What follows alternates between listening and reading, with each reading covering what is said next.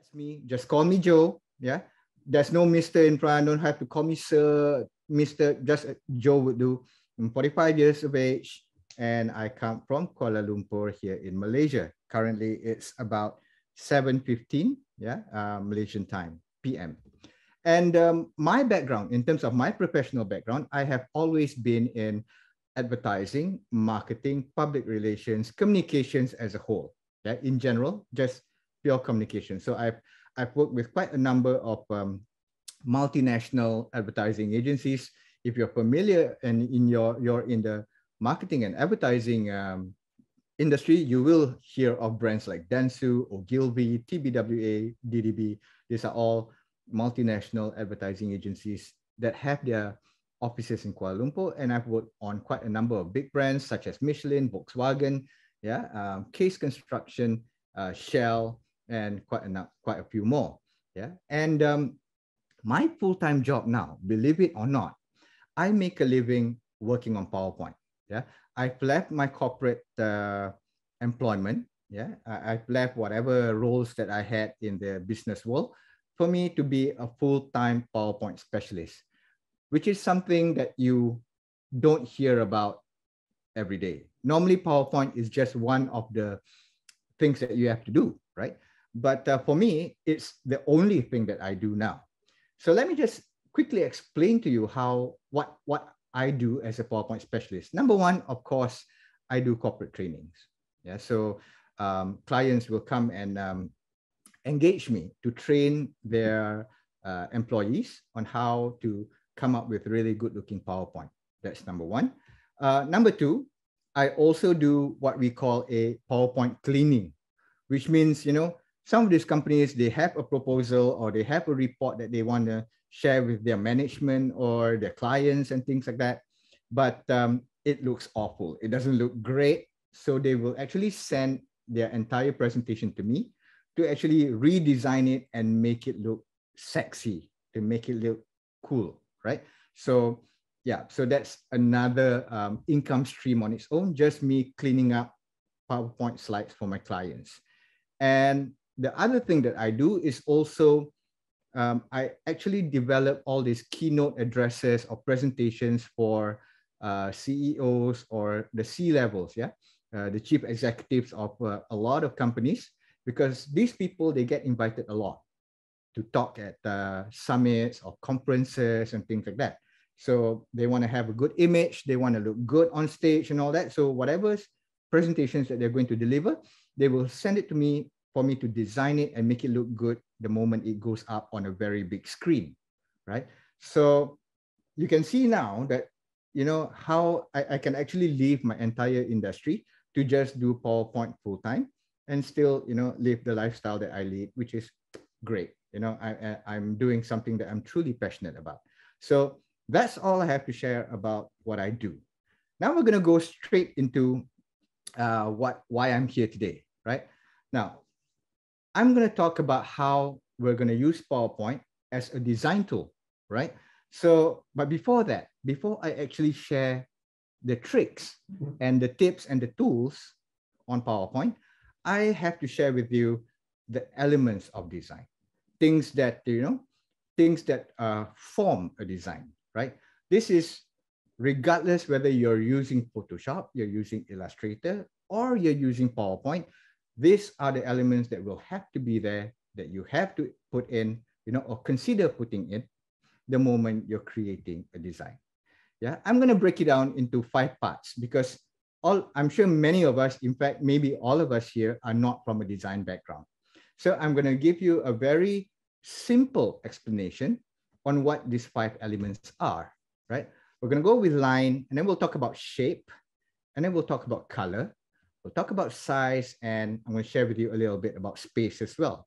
These are the five key elements that make a design. Okay. Now, we're going to start off with the line part first. Um, a, li a line in design is actually very simple. Yeah. A line can actually show um, a distribution between, you know, content. So if you put a line in between, and your content is an, at, uh, is evenly at the top and the bottom, you know, your content, people will see that both of your content, the top and bottom one, is of equal importance. Yeah. But the moment you put your line at the lower, yeah, then there will be, you are creating um, what, what we call a space where the top part of your visual is the key area, whereas the bottom part is the secondary message because you have created that line to establish the difference between your primary content and your secondary content. A line can also become a design. That means the moment you structure a few lines together, you can create a wave or even a, a digital look. Yeah, if you are presenting something that's related to digital or technology, all these flowing lines can actually, you know, form a design. And last but not least, um, a line can also be an element where you, you want to stress on something. Like for instance, you have a sentence, the moment you create a line to put underneath one of those words, then that word which has the line becomes the focus point, right? So lines is one of those design elements that you have to consider. The second one, let's talk about shape a little bit. Um, the shapes that we put into PowerPoint, or in general, shapes have three categories. The first category is, of course, we call it a geometric shape. You know, these are the ones that you find in PowerPoint, right? Where you have your circles, you have your squares, your triangles, you know, your rectangles, your hexagons and octagons and things like that. So these are the basic shapes and they fall under the geometric category. The second category is basically a natural shape. Natural shapes take form as um, you know the, the organic part of um, you know the the shapes, which is basically you have your you know, whether it's nature, whether it's humans, these are outlines that form things from nature itself. Yeah, so that's nature. The third one is what we call abstract. Abstract shapes are basically lines and, and shapes which actually, um, you know, the moment you put them together, they can look very organic or they can deliver a meaning. Like if you look at the mid middle one, these are just organic shapes, but if you put them together, they, it represents a fire, right? So anything that when you when you combine a geometric or natural shape to create um, another form, that becomes what we call an abstract shape. Now, the key thing that why I'm highlighting this, everybody, is because a lot of people tend to make this design mistake. The design mistake that um, non-design people do is they try to combine the different shapes into one visual, right? Some of them, some of them even try to put in your organic shapes with the geometric shape next to it and some abstract elements that creates a, the mess. Yeah, you'll be wondering why at the end of your design you're looking at your screen and you go like, why is it so messy? What I can tell you that one of the answer is that when you combine these shapes together, these three, uh, whether it's geometric, nature, and abstract, when you put them together in one single visual, that will contribute to the overall mess of your design. Try to stick to one or at the most stick to two. Yeah. Do not try to create multiple elements belonging in different different categories. Yeah. Um, okay, so let me remove uh, clear all drawings. Okay, cool. All right, let's move on. The third one is color. So I've got a couple of tips that I'm going to share when it comes to color later. But before I share about the tips, um, I just want you to understand because I think everybody have, have heard some of these terms that I'm going to share, but you just don't know what it means, right? So I'm going, uh, I'm going to share it with you now. Colors basically fall in two categories, additive and subtractive. What is an additive color? An additive color um, are colors that come from lights. Yeah, the source of the colors come from colored lights. The best example that I can give you is probably a, a television or even your laptops. Yeah, your laptops is producing colors because there are um, bulbs and LED lights behind it generating those colors. Yeah, so colors that are generated from lights is known as an additive color. And additive colors, they have three primary colors. I'm sure you've heard of RGB, right? Which is your red, green, and blue. So these are the three colors. So anybody who says, you know, what's the difference between RGB and CMYK? This is the difference. Yeah. Um, RGBs come from colored lights. Yeah, that's the source. That is the additive color. The subtractive color is basically the ones that come from physical or actual, um, you know, pigments or paints or inks or dyes, you know, the actual physical stuff that you touch. Yeah. So, and the primary colors that fall under subtractive is, of course, uh, I'm sure some of you have heard of CMYK, yeah, which literally means uh, cyan, magenta, yellow, and black. So if anybody, um, all this while in your life, you've been wondering, what's the big difference between RGB and CMYK? This is your answer, yeah? The, the, the, the RGBs generally come from colored lights, whereas um, the CMYKs come from the physical colors, which is paints, your inks, and your dyes and things like that. Yeah? So I hope that is a, a clear explanation in terms of colors, but I will be sharing a few more tips later as we go along.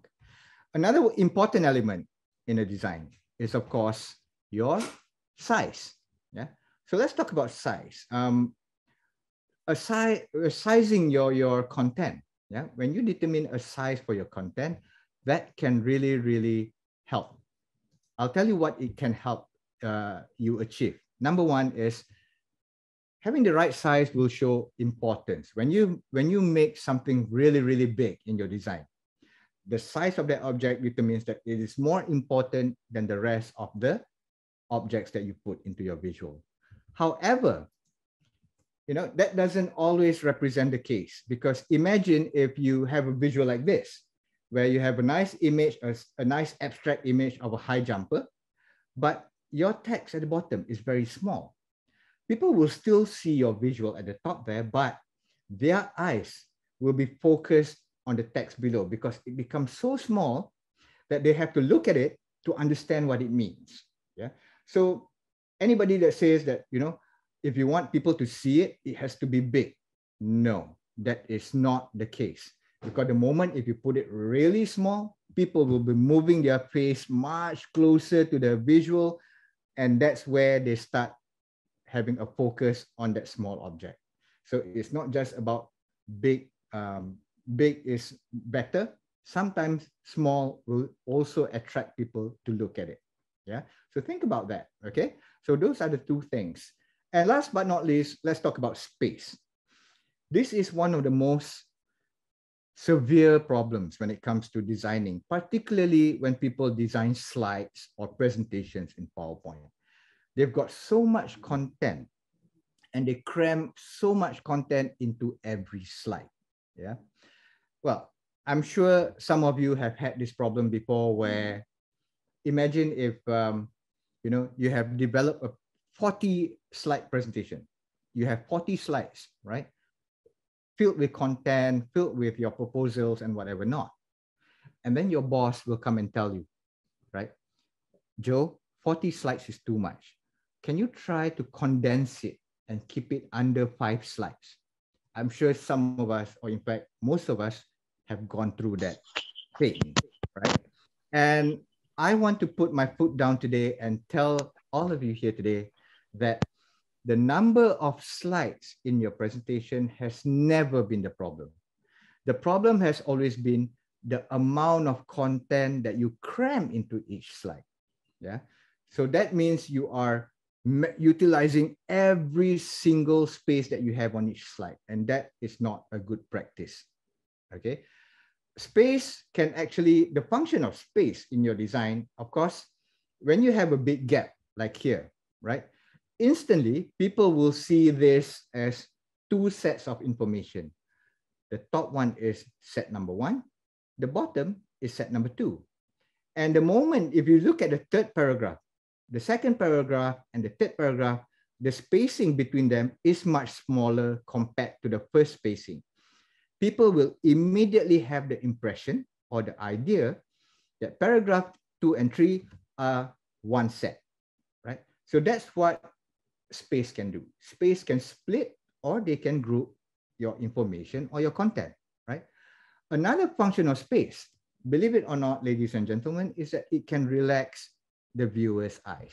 The moment you play with, you know, the moment you let your visuals or your design breathe, give it a lot of room. Yeah. Go very minimalist, go very simple. Don't try to cram every single area of your canvas with all these elements. The moment you keep it simple, people will be drawn by the simplicity of it all. Yeah. But the moment people see it's congested, it's heavy, there's too many elements involved, that's when they start to look away because you know it increases their stress level. Let's not do that, right? Another function of space is one of the most important one, which is it can direct your audience's eyes into what they should read first, what they should read next, and what they see at the very last. Yeah.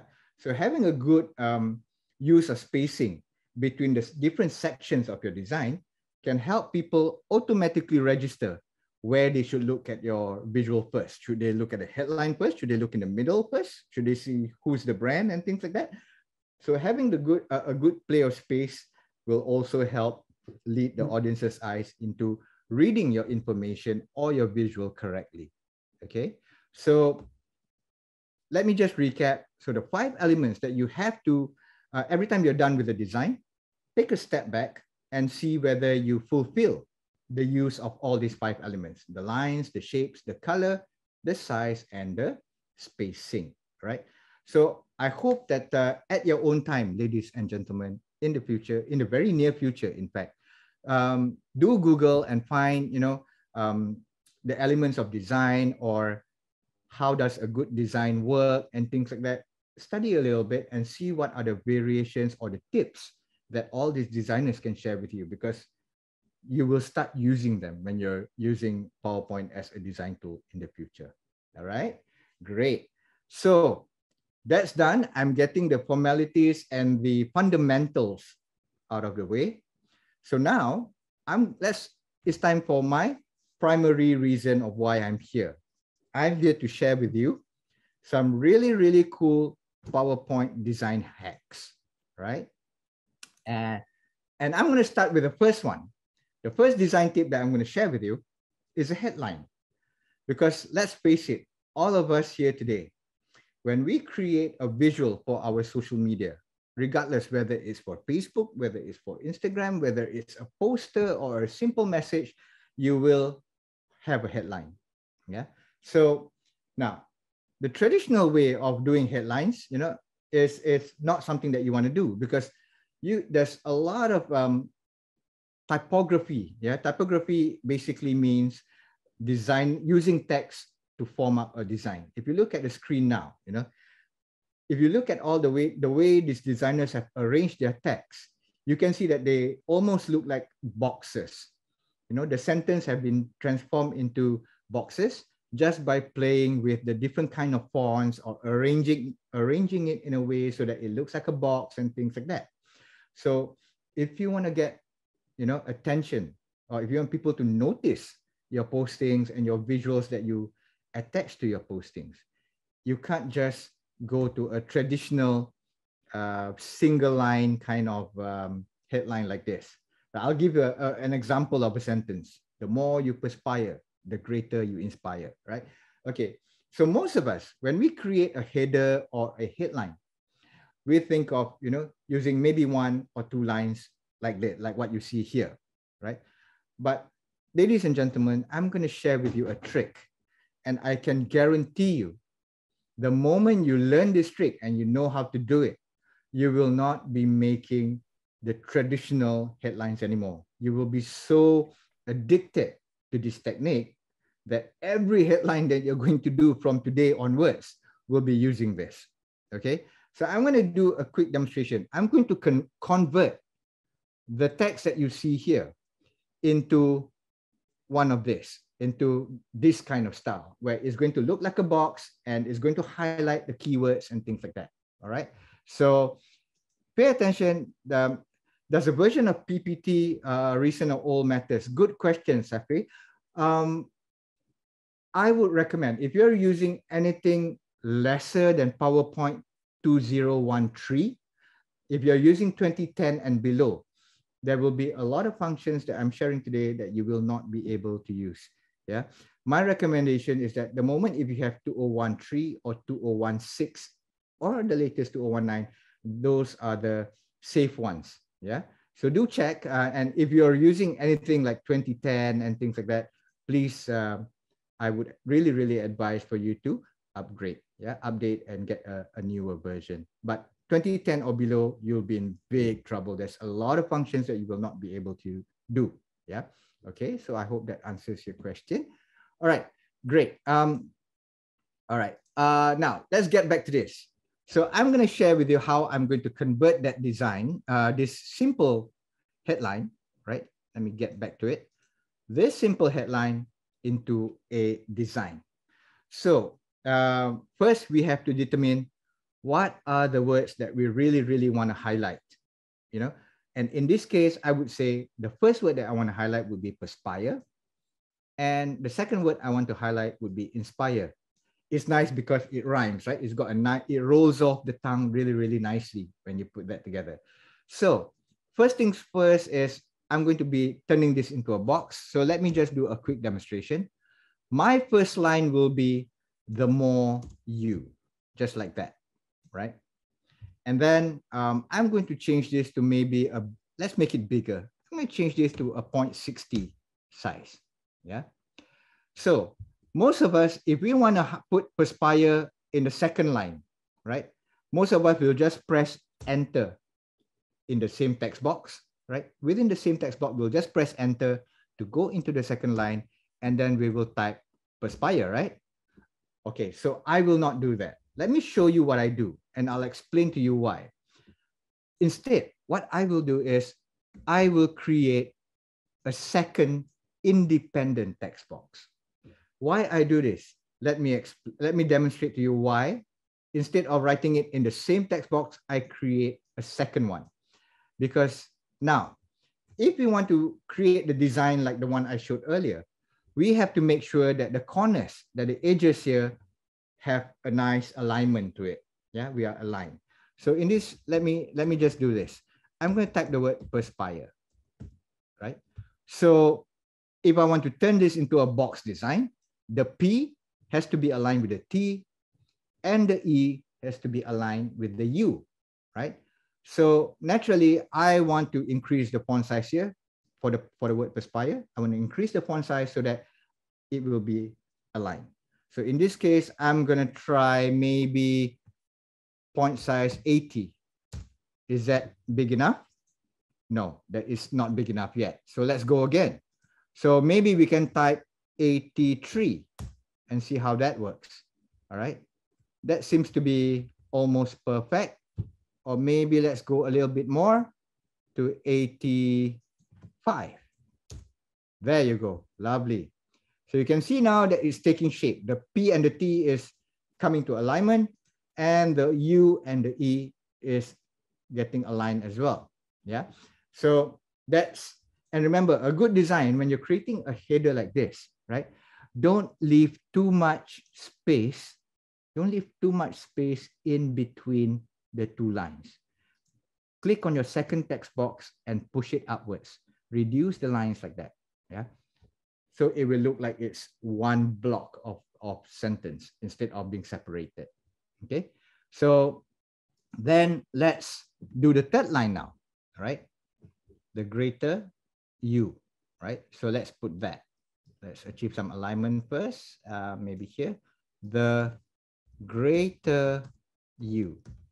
Now you can see that it's a bit longer. So we have to reduce the font size now. So maybe we'll use something like um, font size 50, right? To see whether that works. Okay, it's a little bit out. So let's bring it in a little bit more, maybe to 48, right? Okay, great.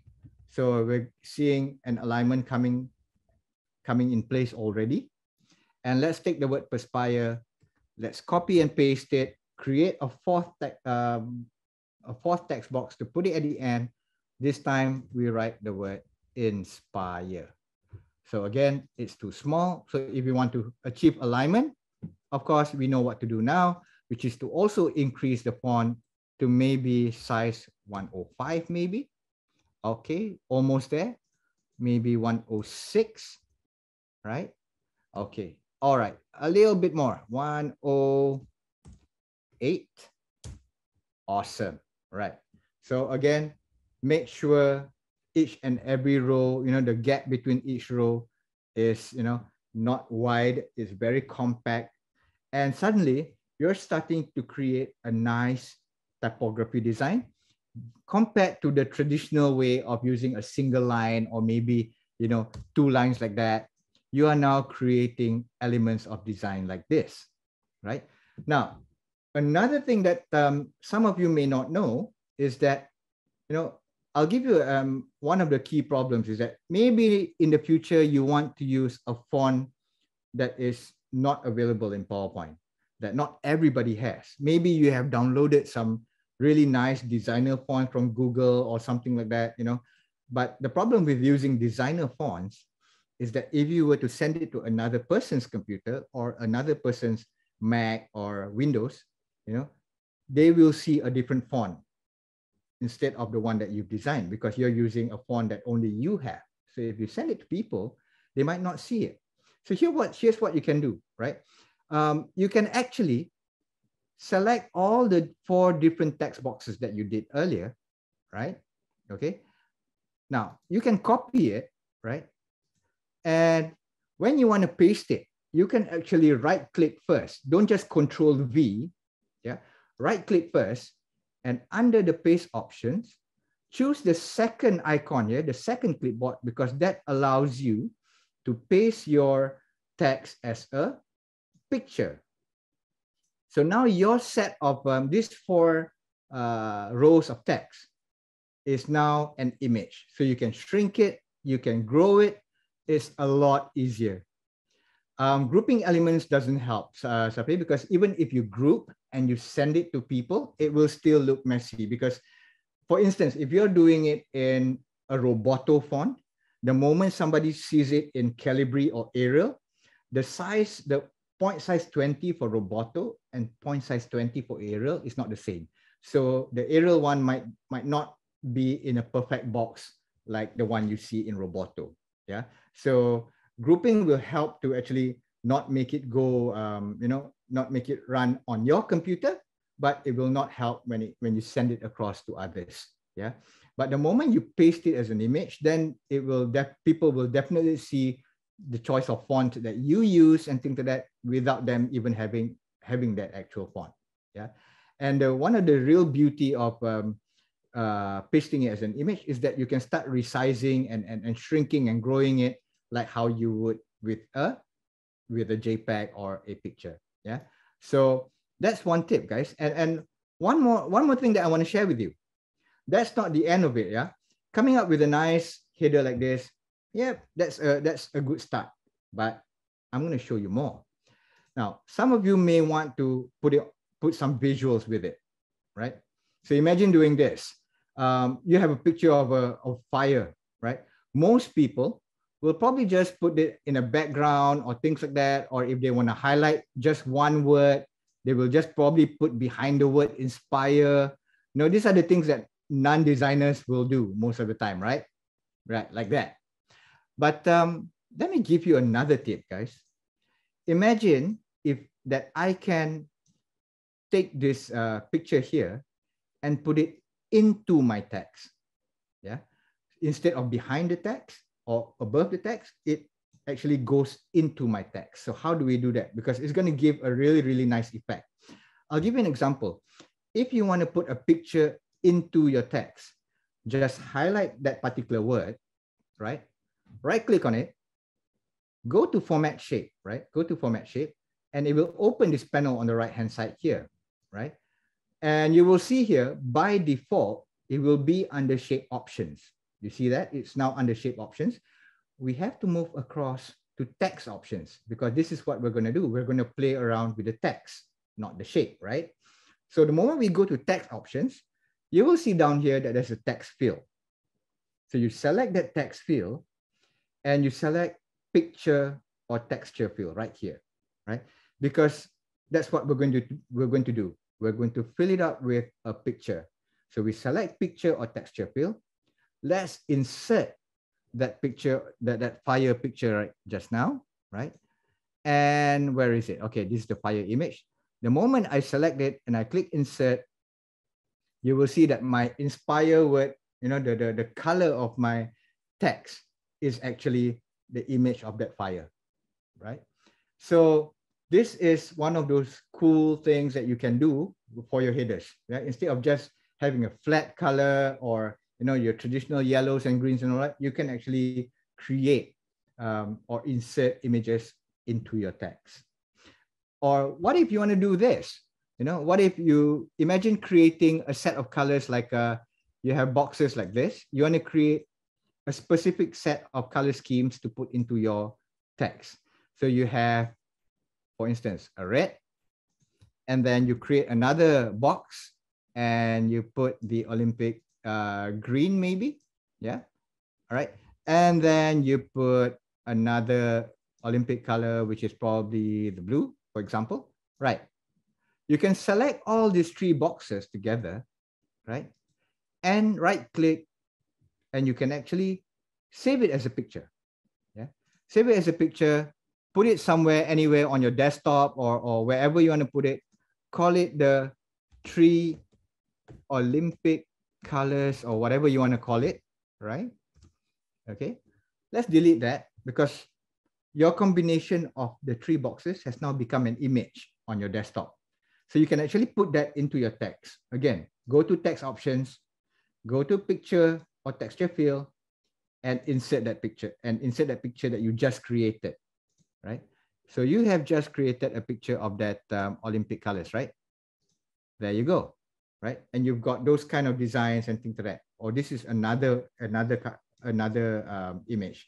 Let me use the one that um, I just created just now. Let's insert. Where was it? Um, Olympic colors, three Olympic colors. This is the one. So the moment I insert, you see it there, the red, the green, and the blue, right? So this is what you can do with uh, to highlight certain words in your header or and things like that. Insert visuals or pictures or even a set of colors that you actually save as an image on your desktop, right? And if that's cool already, and that's all you need, let me give you another tip. What if this is where you can start actually start getting creative. So perspire is of course sweat. So I went to Google and searched for a picture of a drop of sweat, right? So I can actually do this. Um, I'm going to select the, the greater you inspire, these two last lines here. I'm going to cut it and I'm going to paste it as a picture right? So I'm going to put it aside for a while, right? And this picture of a sweat here, I'm going to connect it with the T, with a P here, sorry, the P for perspire. And I'm going to connect it and make it look as though the, the sweat comes from the letter P itself, right?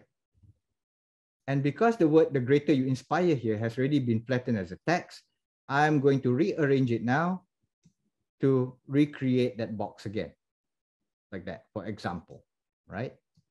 So now you can start playing around and have a combination between, you know, uh, text as well as visuals or little bits of uh, designs that you include into your header, right? There's so many ways that you can play around with this. So do try it uh, at your own time. Or in fact, in a while, I'm going to give you an opportunity to try this out, okay? Because it's in one of the exercise documents that you've downloaded earlier, all right? Now, um, now that you know that you can actually paste your text as a picture, right? You can right click and then select the second clipboard that allows you to paste it as an image. Now imagine doing this. This is the next level of PowerPoint, guys. This is where we manipulate PowerPoint functions, okay? Um, I have created four different text boxes. I did typography. Today, I love it. This used to be four different text boxes. Ah, okay, sure thing. No worries. Let me go back to the top and I'm going to copy the link. The link is right here. I'm going to copy it and I'm going to put it in the chat window now for those who arrived a little late. There you go. The link's in the chat window. So yeah, um, can start downloading now. All right. Okay, so where was I? All right. So initially, this was four different text boxes, but I have converted them into four different pictures. Yeah, remember how can we can paste it as a picture? So I did is now a picture. Typography is a picture. Today is a picture, and I love it is a picture. All right. Okay, now because they are already in picture form, right? I can now go to shape effects right here at the top here. You see the shape effects, right? And I can actually give it some 3D rotation. You see the, the bottom uh, option here is a 3D rotation. I'm going to give it a few parallel angles. You see there are some a, a couple of angles that I can choose from here. So for the word I did, I'm going to give it this angle like that, right? The word typography, I'm going to go to do the same thing. 3D rotation, lie it down like that. The word today, go to shape effects, 3D rotation, make it face this way maybe. And the word I love it, let's follow the, the rotation of today, right? Like that. So now see what happens when I put them together. I'm just going to arrange it very, very quickly.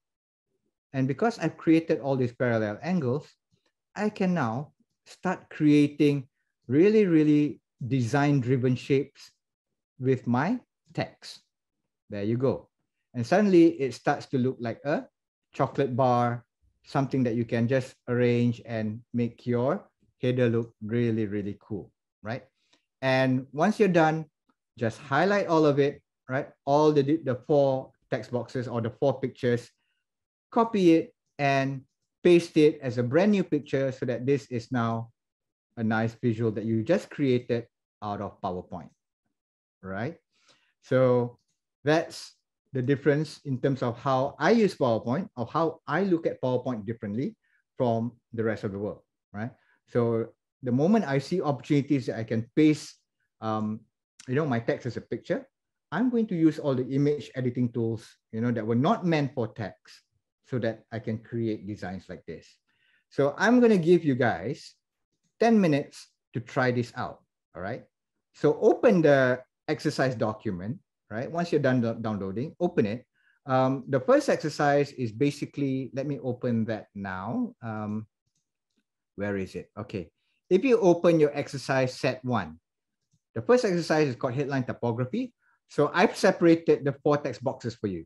The more you, and then perspire, and then the greater you, and then inspire. All you have to do is just play around with the with the font size to make sure that you have you can achieve you know the um, the box look that I demonstrated earlier, right? Okay, and you can also try the option two, which is you know play around with the 3D rotation and the parallel angles and rearrange the words I did typography today. I love it. Rearrange it to recreate that bar design that I have just demonstrated. All right. So I'm going to give you guys 15 minutes from 7, let's take it as 7.55, uh, as uh, 55 to um, my time 8.10. So 15 minutes from now. Yeah. So um, if you have any questions, just drop it in the chat window while you're testing it out. But I would love to see some of you sharing your work on our chat window to see whether did you guys successfully manage to transform the, the content that I gave you into this kind of designs. So go ahead and enjoy yourself and let me know if you have any questions. Okay, go.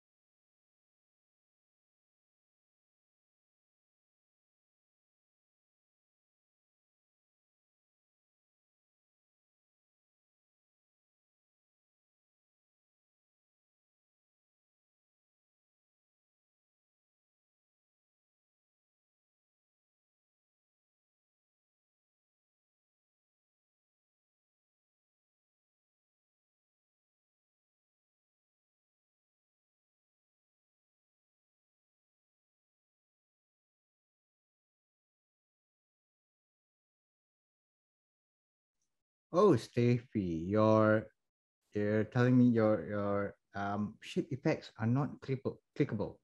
Okay, try to um, maybe because you have not pasted the, the link is blocked. Okay, that's probably from your um, from your own. Uh, I think your your computer's uh, security settings that have been set by the administrators. It's actually open for anyone. Anybody else is uh, experiencing a block, or can you all? Can some of you actually download it? Does everyone have the same problem, or you know, is um, any of you managed to download the document? Oh dear.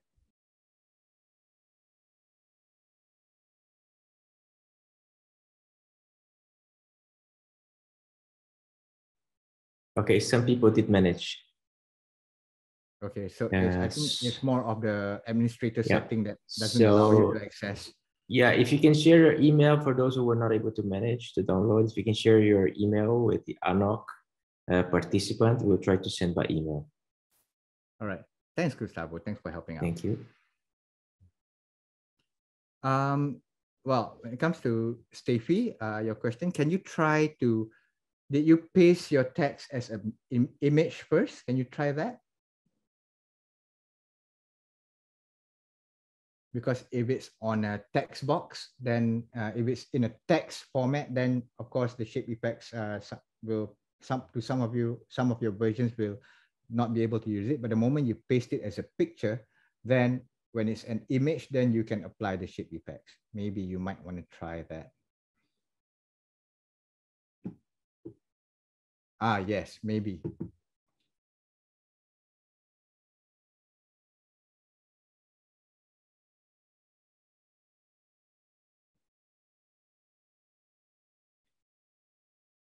Out of curiosity, everybody, how many of you are on Windows and how many of you are on Mac? Can you just help me spell out PC and Win PC and Mac in the chat window? I just want to see the split between the two.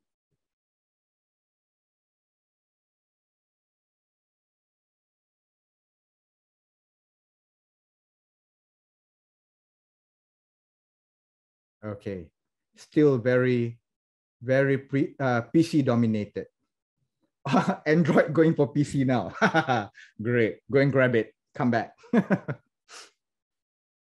awesome. All right. That's a good split. I'm saying, well, I think um, that's the rest. It's the same with the uh, industry percentage, I guess, between a 60 40, 70 30. Yeah. Favoring PCs. All right. Okay, great.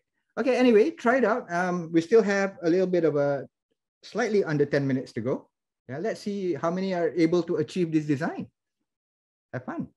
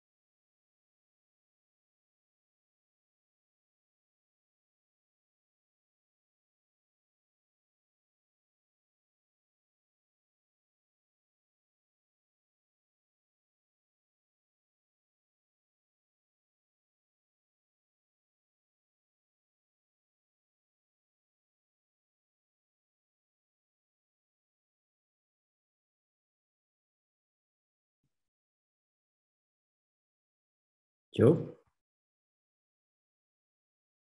Yes.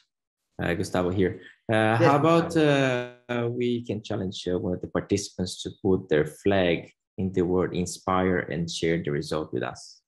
Yeah, that would be awesome. That, that's a good idea, Gustavo. Maybe get go to Google, get a picture of your national flag, save it onto your desktop, and then when you want to insert, um, you know, try to insert that image of your flag inside the word inspire. Yeah. So how do you do that again? Come, let me, for those who want to see a, a quick repeat of that uh, exercise of how you actually put, uh, what do you call that? Put images into your text. Simply highlight the text that you want to put an image inside, right? Highlight it, right? And then all, if, if the panel on the right here is closed, right? The moment you highlight it, just right click and the menu here will open. Go to format shape, right? And the panel will open and make sure you move over to text options. Don't select shape options, yeah? Go to text options, go to text field. If it's closed, just drop it down, open to text field, choose your picture or texture field, and then insert your, your the image of your flag and you will see the shape of your the, the image of your flag inside the word uh, inspire. Yeah good idea gustavo. Let's try that out and let's see how many of you are able to do it. And let us know when we have a volunteer to share the results so we can also. yeah would love to see that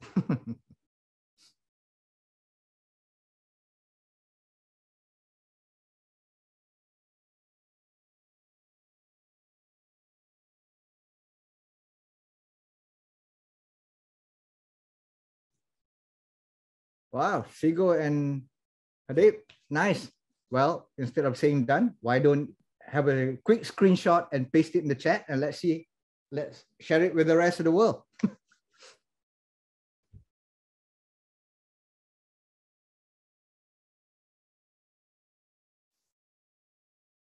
oh man.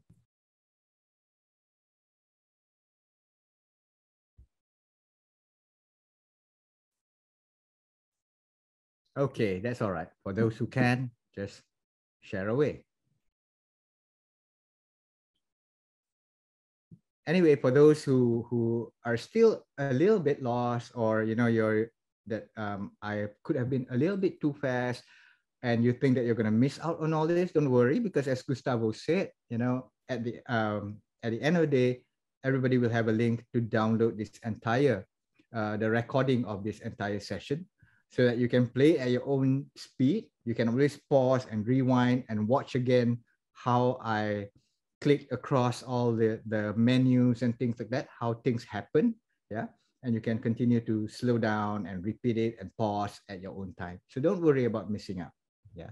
Joe, as uh, Mohammed cannot share his, ah, he said he can share now. Oh no, he can't. Uh, He can't. you can he share his screen and we take the presentation down for a second just so he can show his the, Sure. his result? Sure. Let me stop share for a while.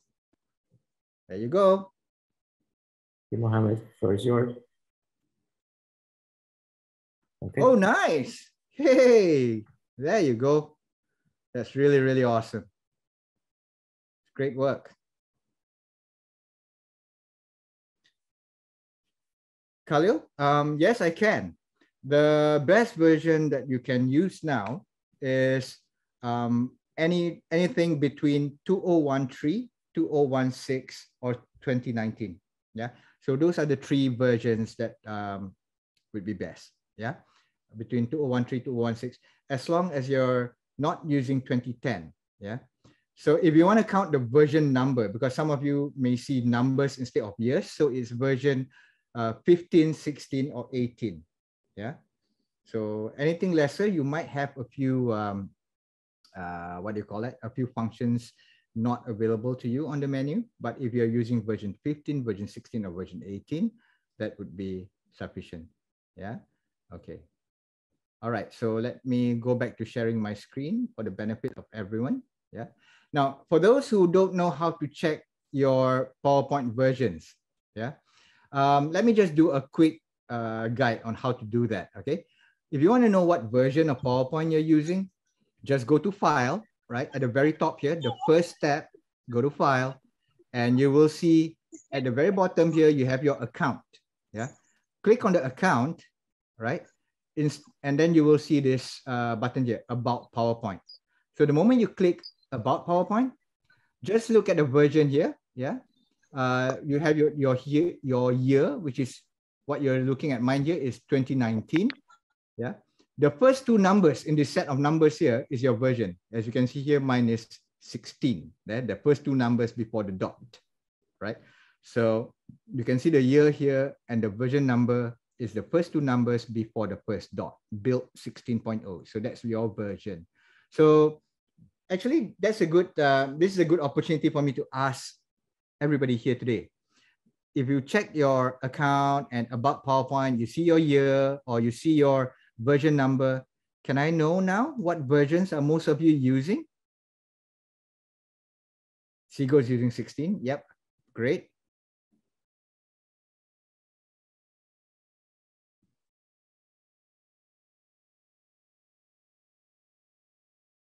Ah, okay. Wow. It seems that uh, the Olympic committees from all over the world are using 2016. That's a standard. Well, in fact, you you guys are consistent with the rest of the world anyway. Yeah, because most uh, corporate entities out there today have not actually moved to 2019, right? Um, but yeah, 2016 is more than su sufficient. And if you've been trying the functions out, you will know that, yeah, that you, whatever that I've shared earlier, you have the same function, right? Great. Wow, Joyce, well done. Well done to the people who actually set up Joyce's laptop, giving her 2019. Wonderful. Muhammad as well. Good job. All right. Nice. Okay. Um, there's uh, we've got about two more minutes for you guys to share your craft with the rest of the world. Anybody who just want to save your screenshots in, onto, onto your desktop or probably share share the image into the chat window would would awesome to see it right okay great two more minutes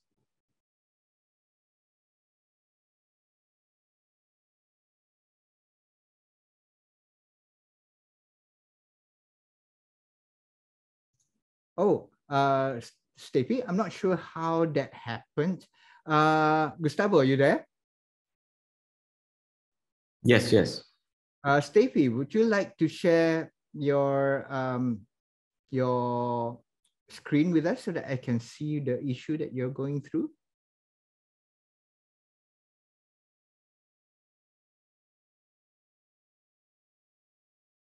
Hang on, let me stop my share for a while. Uh, Steffi, if you can kindly share um, your PowerPoint screen with me so that I can see what, what the problem is. Yeah.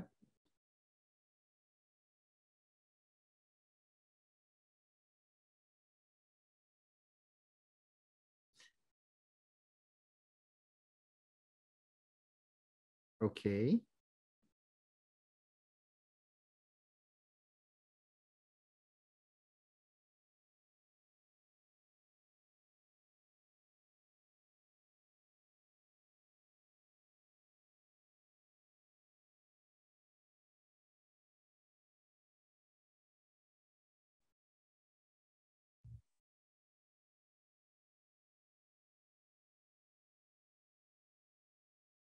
Hmm, that's weird.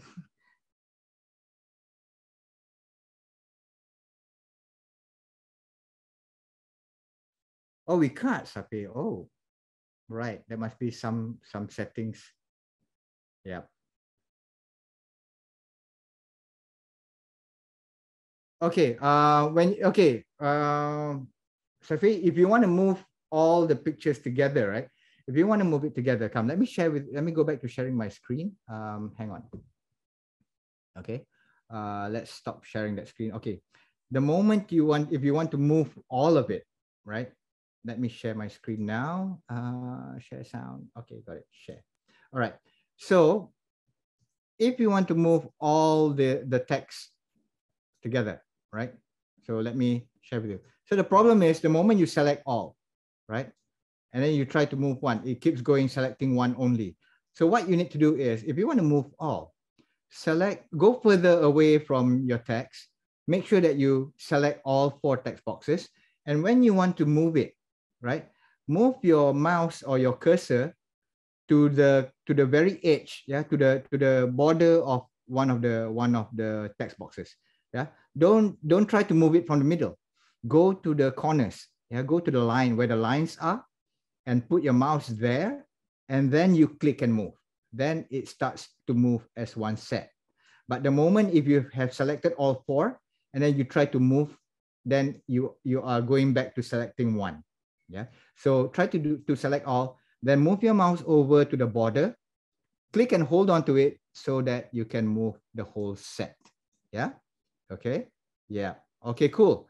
All right, guys. Um, well, maybe uh, Gustavo, I think some of some of us here today are rather shy, and and also because they can't they can't share um, due to some maybe some administrative settings or whatnot.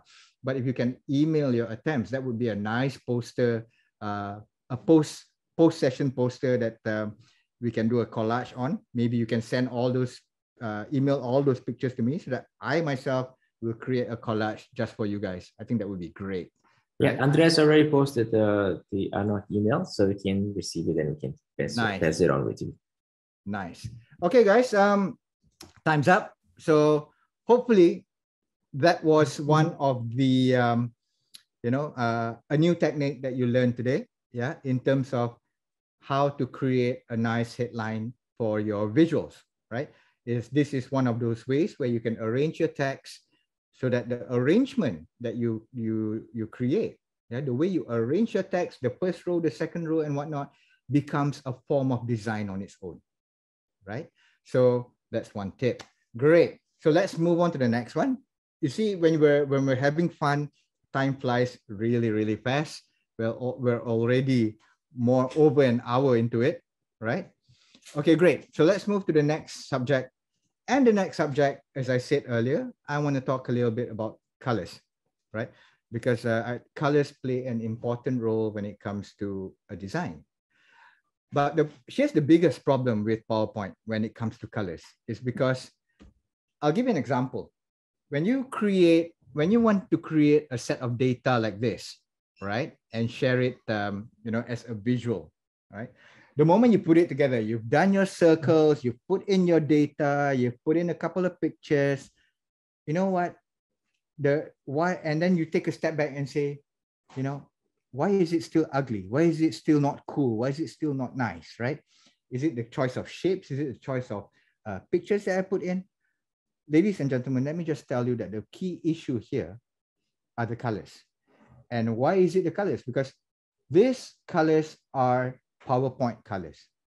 You know, PowerPoint colors are naturally not attractive. You know, it's so predictable that when people look at your design and they see this set of colors, they can tell straight away that it was done on a PowerPoint, right? With that mustard yellow and that baby blue and that light gray, it's just something that's readily available on PowerPoint. So if you want to have some really, really nice colors that is not immediately available on PowerPoint. Let me give you an idea on how you can transform your shapes and the color schemes into something that you know that can be done. Uh, people will think that it was done out of Photoshop or Illustrators, right? Let me share a nice, cool technique for those who don't know, right? Now, a good color scheme. Let me give. Let me go to Google, because um, remember this, uh, guys, because the keyword that you should look for is this word pastel tones. All right. Search for pastel tones because pastel tones are very nice, warm, soft colors. Yeah. They're matte and not glossy in nature. It's a matte tone. It's very warm. It's very soft and they would look good on screen. Yeah.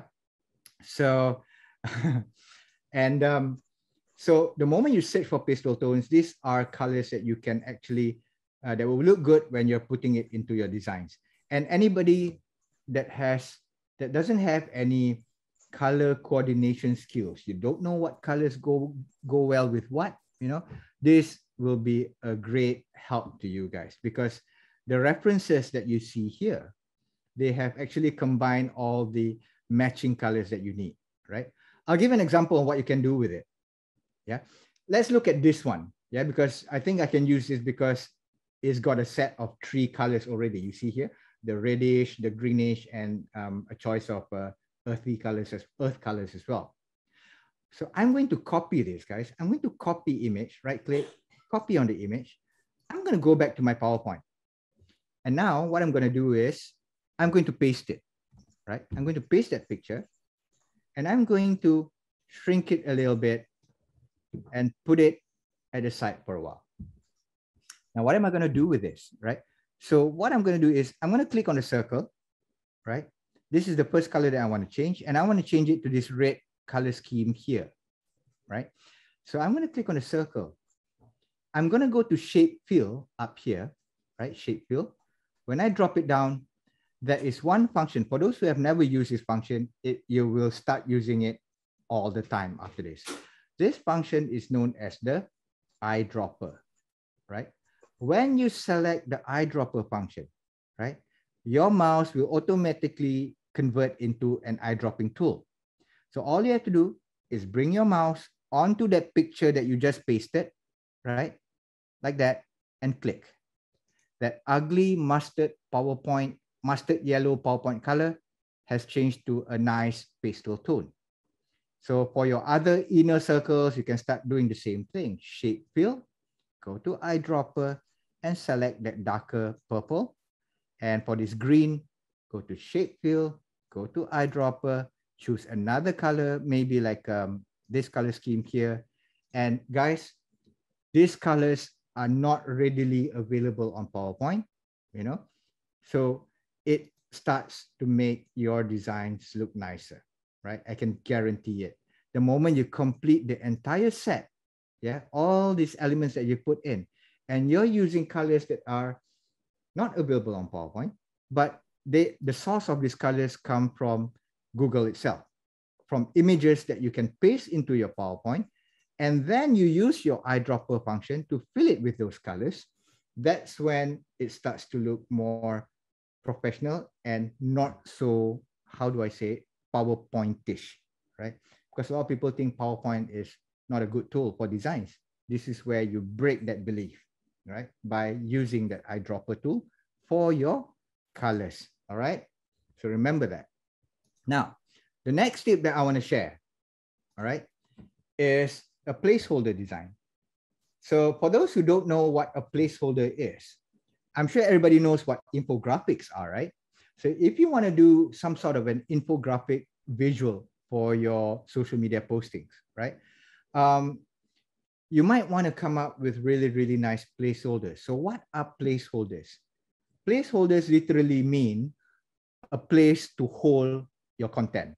Like for example, if you look at examples of infographics here, each arrow here, the green arrow, the yellow arrow, the purple, these are all known as placeholders. Every circle here is a placeholder right? Every bar here that you see down here is a placeholder. So a placeholder is all these shapes that you use to hold your content. And PowerPoint can create really, really nice infographics as well. You just have to know how to take advantage of all the shapes that PowerPoint have given you. Okay. For example, I'm going to create the most basic placeholder design that you can that is the most common design that you see in in uh, in the visual world out there right and you can actually use powerpoint and the the only shapes that i'm going to use are these two circles and the and these two rectangles which has a slight curve at the edges right now speaking of the curved rectangles here i'm sure a lot of you yeah probably half of the people in the room today half of you have never realized that there is a yellow dot right here. Yeah. So for those who have actually never touched this yellow dot before, it is for you to click on it. You can click on it and hold on to it, and you can stretch it to make, make it even more curvy. That's what that yellow dot is for. So for those who have never played around with it, try to play around with this. So from uh, just a typical curved edge, you can actually transform your entire box to look like a, a pill, like that, right? So not all shapes do have the yellow dot, but any of these shapes that has a yellow dot do customize the, the, the curves and all that to make it look more interesting or to your liking, okay? So what I'm gonna do here is this.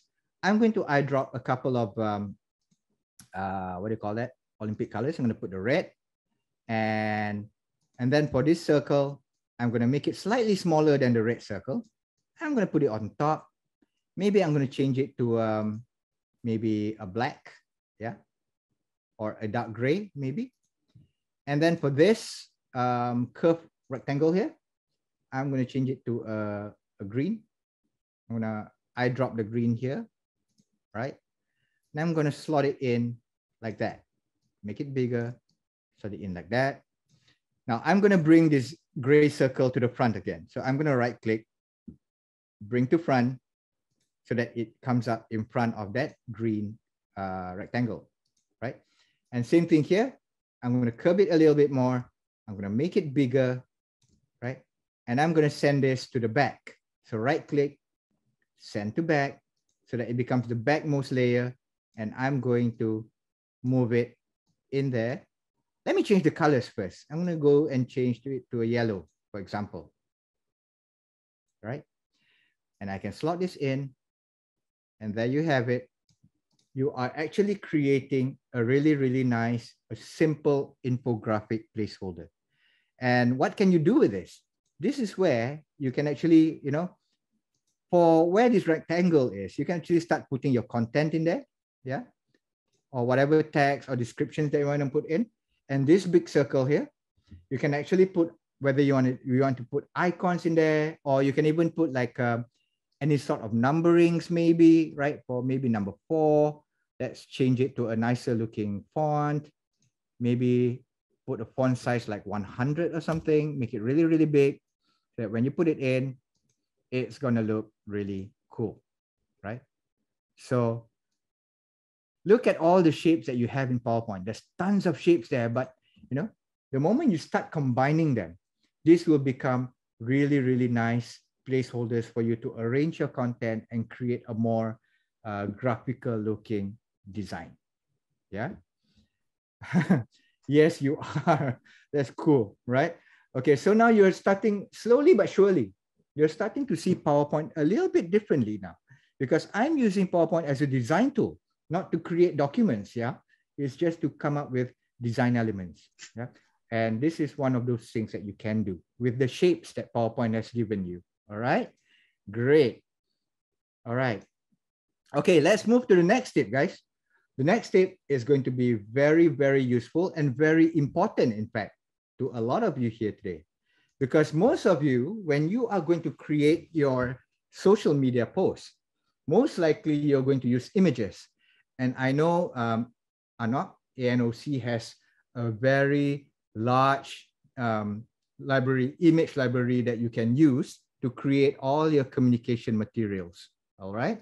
So I'm going to show you how you can do some really, really cool image editing uh, stuff, yeah, and tricks using PowerPoint. Now, I'm going to start off with the most useful one. It start off like this. I mean, imagine you have a picture like this, like the, the, the, the what do you call that? Figure, skate, figure skater on the left-hand side, right? You have this nice picture um, most of you, because you're not designers and all that, you'll probably just use this empty space here to put your text or whatever communications or your logos and things like that, right?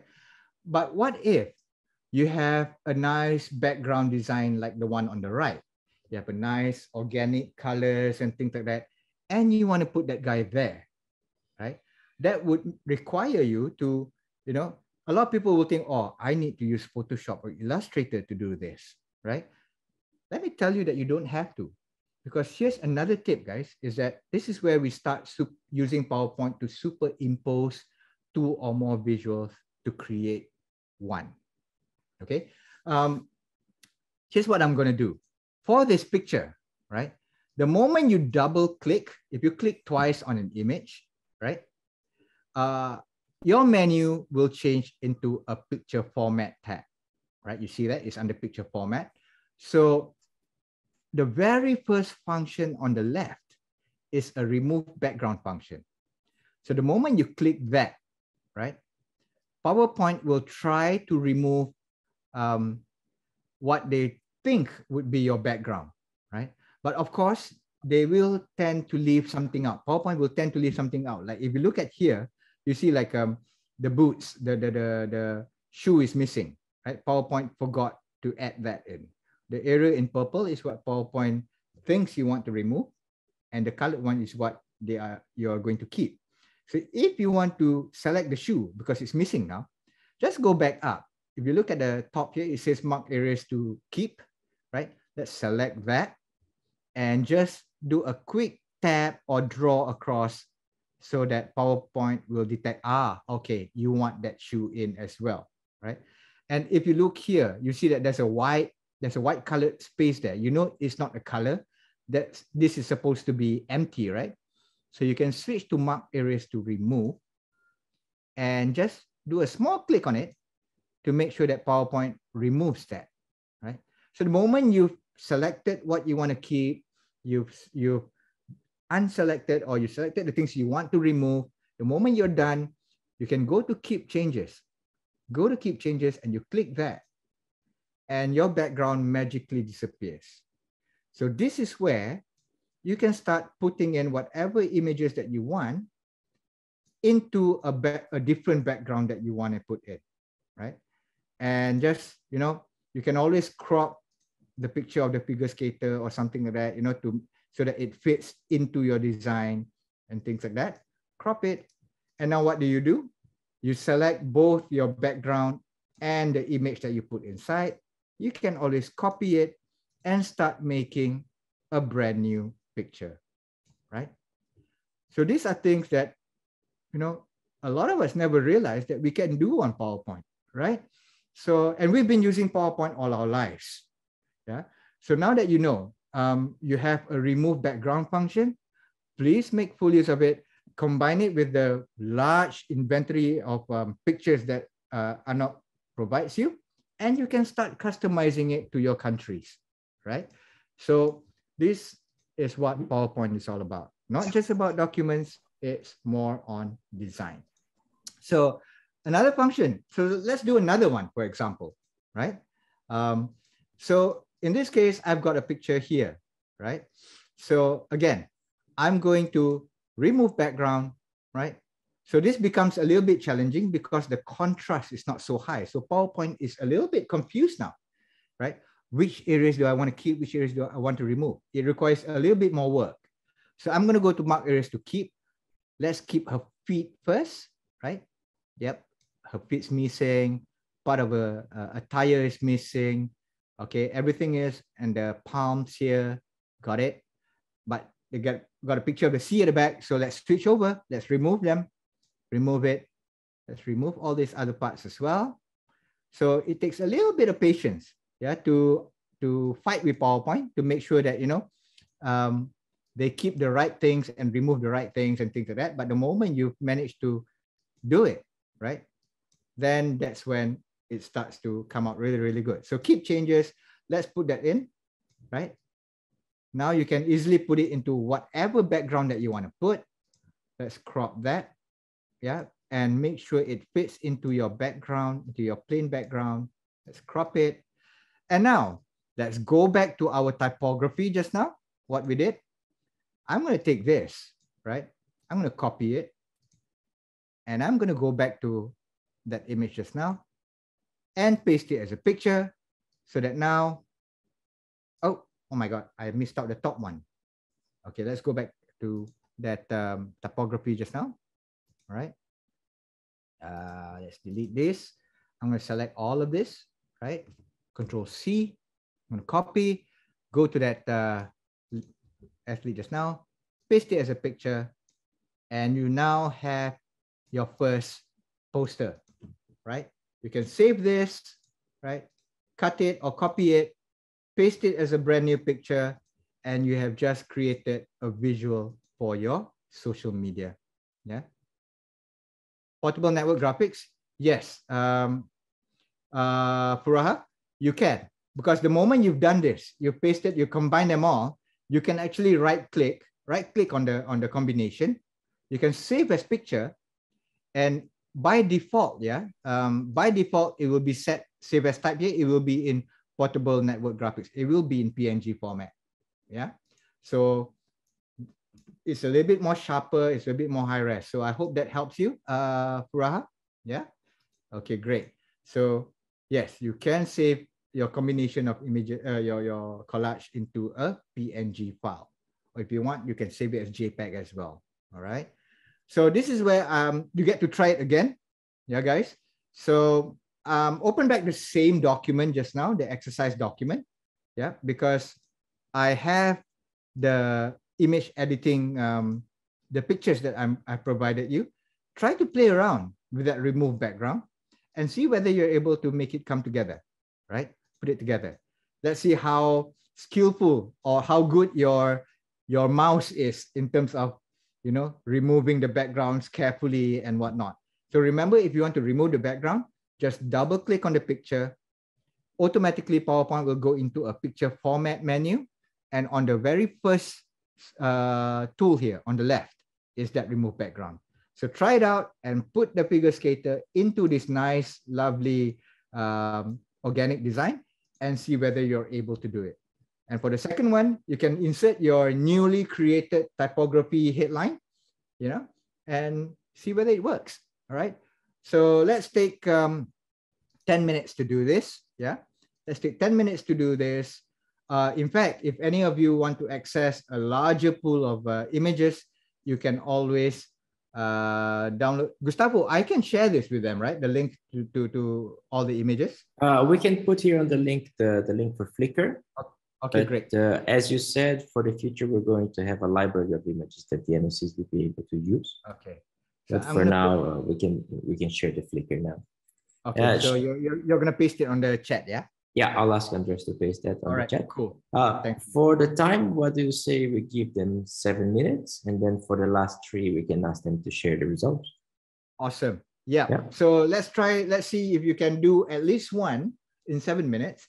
And let's have the final three minutes to see a collection of your efforts and your attempts in the chat window. So go and try it out. Good. Uh, if you're finished, just put your name uh, on the chat and we can call you out to share your screen. Awesome. yes, you're right. It's a fight with mouse and image. You're literally arguing with PowerPoint. No, I want to keep that. No, you're deleting the wrong thing. so yes, it's a bit of a challenge, but the outcome is extremely rewarding if you get it right. Yeah. Uh, so go and ho hopefully we can see some really, really cool attempts. All right. Have fun.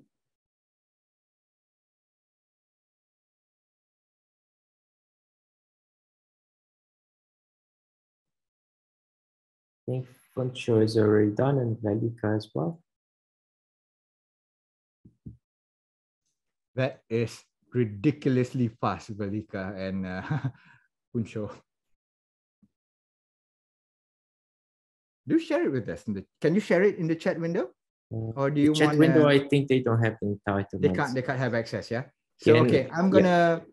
I'm gonna stop my share while everybody else is trying. Um, Gustavo, I will leave it for you to actually. Yeah. yeah um, so we can ask uh, Fancho to share first, and then we can see Velikas. Awesome. Go ahead, Tancho.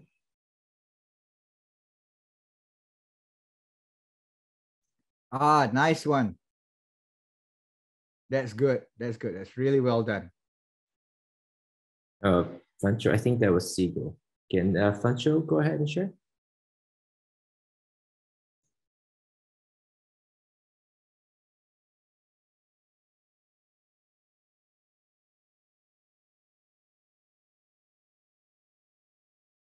uh, or Velika?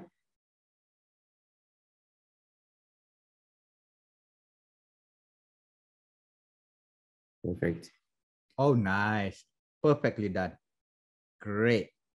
So you can try from now on, Velika, you can probably just try to put some text, you know, to describe it or, or, you know, the typography exercise that you did earlier, find a place to actually slot it, maybe next to his leg, you know, it will come up with a really, really cool design. Yeah. Nice. Oh, so just I love the flag uh, with the waves with the wind. Eh? It's very nice. Yeah, one. like that. That's a really cool touch.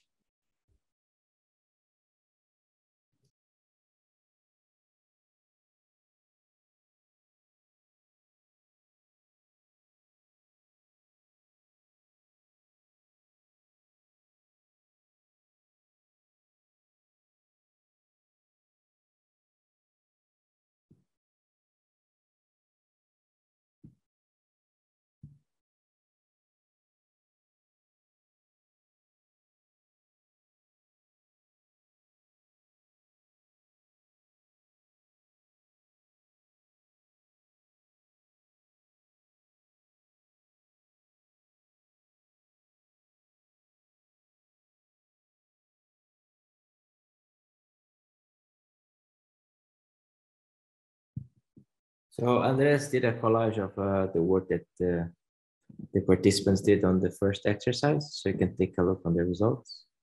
Yeah, that's nice. Yeah, you're you're sharing all your past efforts and not just the recent one. I think take that opportunity the moment you share screen to show all the stuff. Oh, that's really really cool. Love the, the effect of the flag and all that. Nice. Oh wow. Oh, well done. That's nice, Jessica.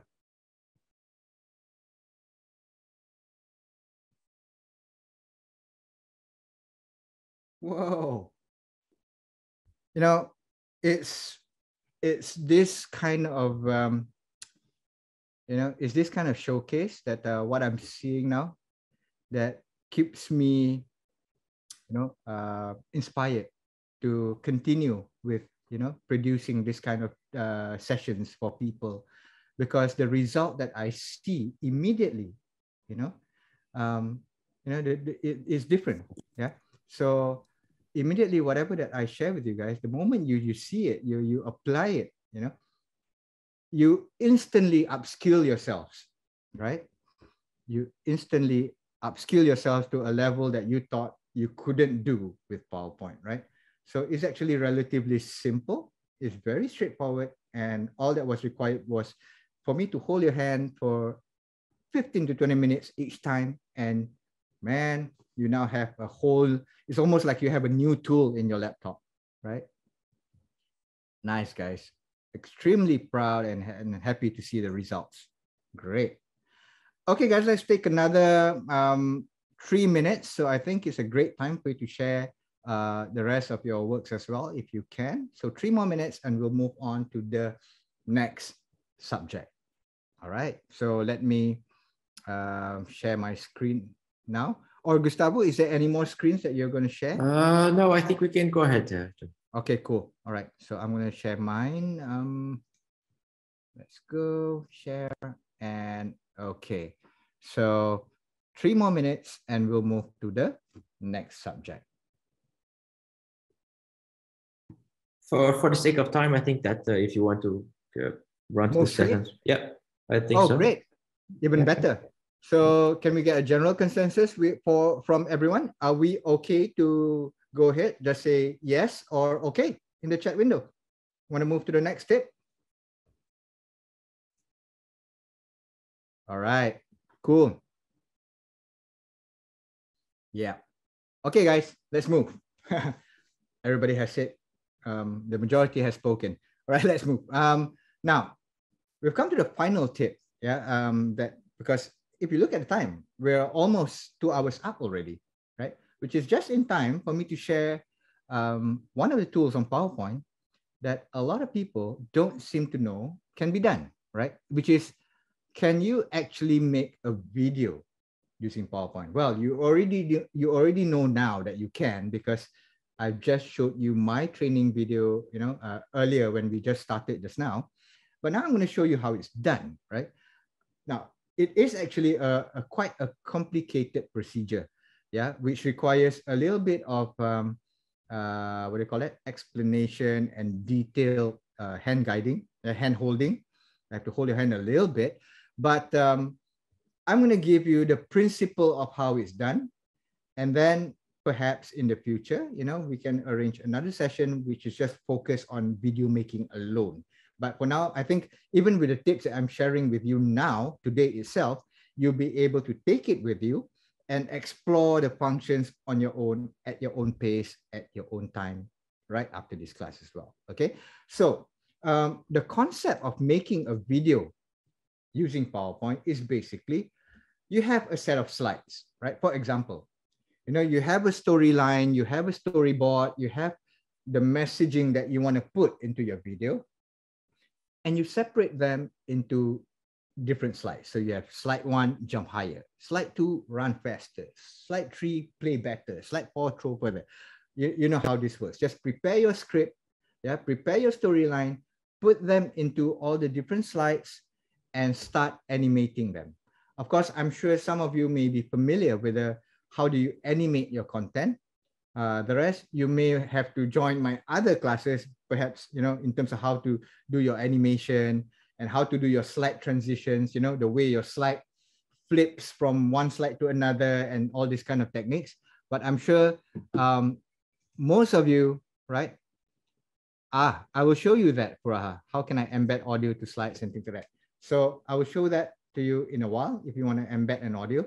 But first things first, um, the moment you've prepared all your content and you've done all the animation for it, maybe the word jump higher will start fading in. Maybe the picture of the high jumper will, you know, will flip or things like that. You create your effects. And then what you do next is you embed an audio. Now, how do you embed an audio? I'm going to share with you how do you insert an audio file, all right? So you, if you go to your menu up here, you go to insert, right? There's an insert tab there. And under the insert, the man in the insert tab, on the on the right hand side, you will see that audio there, right? So you can actually, when you drop it down, you have two options. You have an existing audio file, which is a music file or an MP3 or a soundtrack, right? Or you can actually record your own voice. The moment you record audio, it will switch on your microphone so you can narrate, you do your narration. Right? You can speak and, and things like that and put your voice into the video, right? So just insert audio and select the file and it will appear into your slide, yeah, into your presentation, okay? So great. So that's how you insert your audio. Now, um, the moment you've inserted your audio, right? The moment you insert your audio, that's when you will start recording. You can actually record the, the timing that you set for each slide.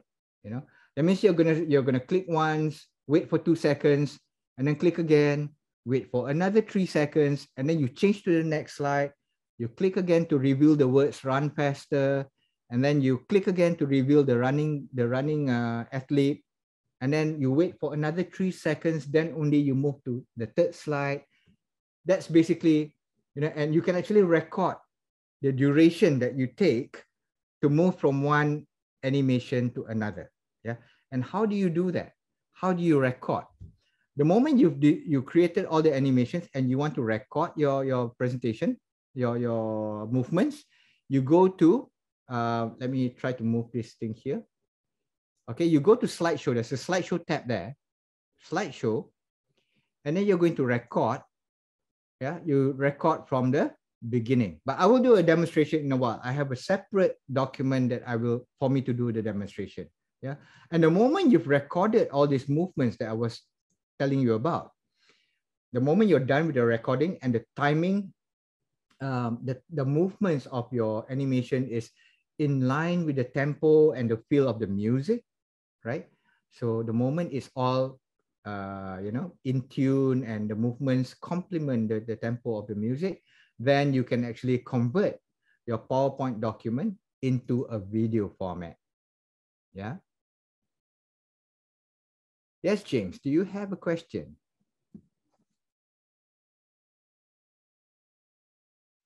Okay, while James um, prepares himself, let me just give a quick demonstration on how we uh, record a PowerPoint uh, movement, yeah? So let me just escape this for a while. I'm going to go to a next document. I'm going to close this, right? And the next document is this one. Okay, you will you you will have time to play around with this. Now, what you're seeing here is just a set of slides. Okay. How to embed the audio? Okay.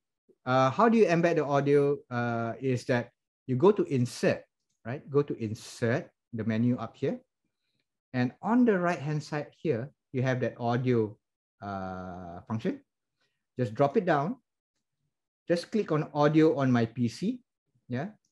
If you have a music file, you can always, if you have a music file in your computer, just click on that. And the moment you see a, a, a speaker icon with a play button here, and let's try playing it. There you go. Then you know that you have embedded your audio into your PowerPoint. All right. So again, just go to insert, select audio and select audio on my PC. Now, coming back to this document. So what I've done is this. Um, you can see I've inserted a music file here. The music file here is, it sounds very dramatic. Let me just play it for you. It sounds, it's a really like your, it's like your movie trailer kind of uh, sound effect. Let me just play for a while for you to get, get the feel of it.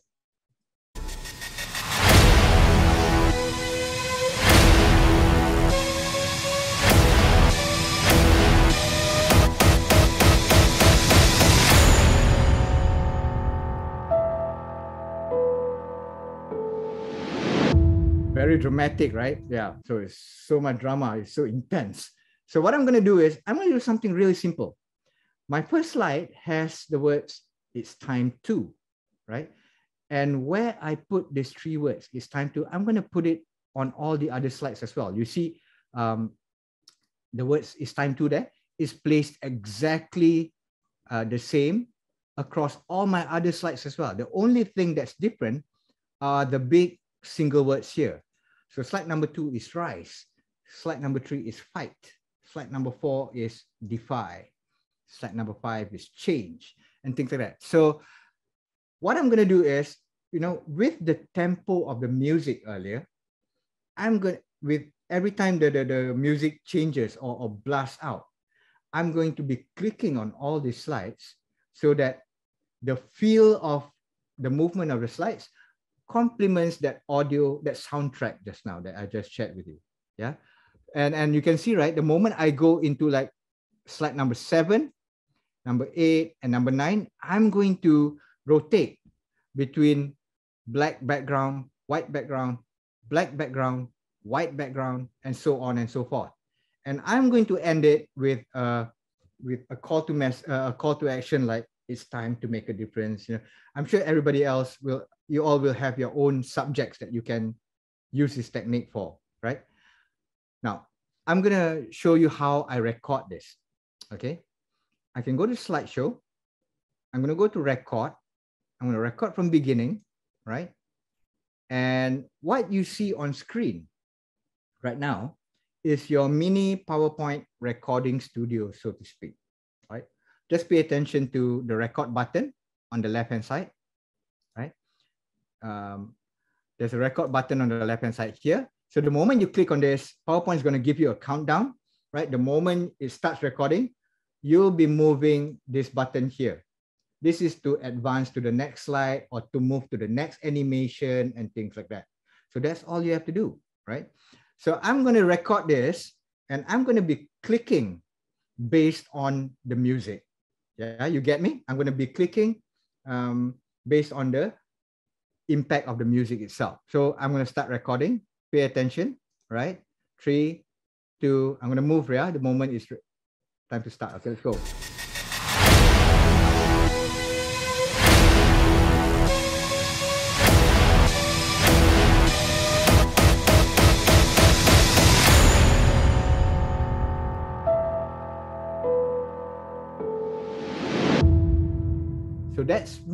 Clicking, yeah?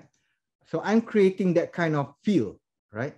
And the moment I'm done, if I think that I'm, I'm happy with that, with that timing and that movements, I'm just gonna go back up here and close it. Close the door of my studio, come back to the front. And what, you, what I'm gonna go, and uh, if you wanna test it out, if you wanna test it, right? Just go down here into your slideshow mode. I'm sure everybody has a slideshow button up here when you want to full screen your presentation. Now, if you look at me, if you look at me in my webcam, my web camera here, the moment I go into slideshow, you can, you can see, I'm gonna put my hands right next to my face so that you can see that I'm not clicking anything, but PowerPoint is going to move on its own. Because why? I have already recorded the timing just now, right? So let's check this out. I'm gonna go full screen and you can look at that. I'm not clicking on anything, yeah? Let's go.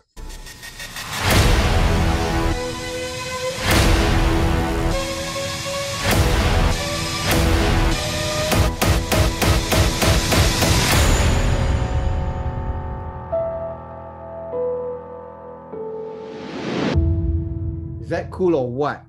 Right? Because that timing has already been recorded. It's in tune with the music that you set, and it's gonna come out really, really awesome. And the moment you're done, this you can save it. it is still in PowerPoint format. It is still in PPTX. So if you want to convert it into a video, you just go to file, right? Okay, just go to file, all right? And then you go to save as, right? You see save as here, okay? Put it wherever you want to put it, maybe on your desktop. So the type of uh, save currently is under PowerPoint presentation. But if you drop it down, there's an option for you to switch it to MPEG 4 video. So the moment you select MPEG 4 video and you click save, you will see at the bottom here that PowerPoint is converting from a PPTX into a video.mp4. There you can see the, the progress bar there, right? So it's converting slowly into a video format, right?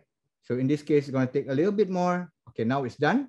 Now, if I was to shrink everything and go here, you can see now that this is already in video format. I'm going to play it, right?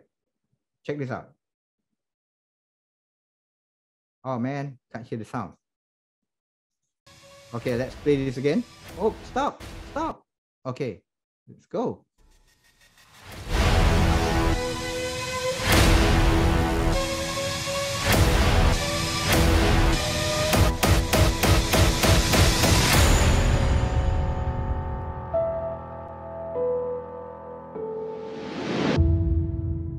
So ladies and gentlemen, that is how you can start creating videos out of PowerPoint.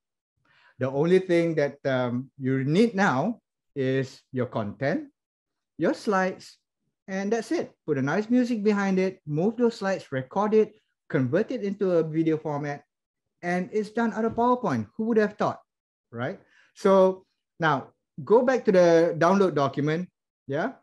Um, the second file is um, the second file is the this particular one that you see on screen now. I want you guys to try this out, right?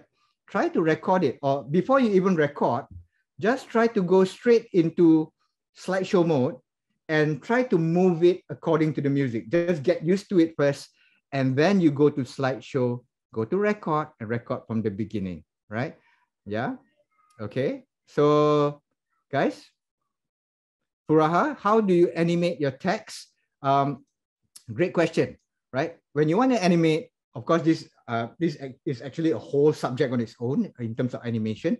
Uh, if you want it to come in, like for instance, like rice here, if you want the word rice to come in, you go to animation, right? Choose any of the green areas here where you can select, you, you want it to wipe in, you want it to fade in and all that, right? And choose that um, any of those styles. Yeah, so that's basically how you animate. But for the rest of you who are already familiar with it, just open this document uh, that you downloaded earlier from WeTransfer and start playing around. Don't have to record yet. Try to familiarize yourself with just in, in slideshow mode first, in full screen mode first. Move your mouse uh, according to the tempo of the music. Yeah, it gets a lot faster towards the end. So you might want to practice first and then when you're when you think you're ready, go to slideshow, right? Go to slideshow and then select record from beginning and knock yourself out. okay, guys, go and try it out and let's see what happens.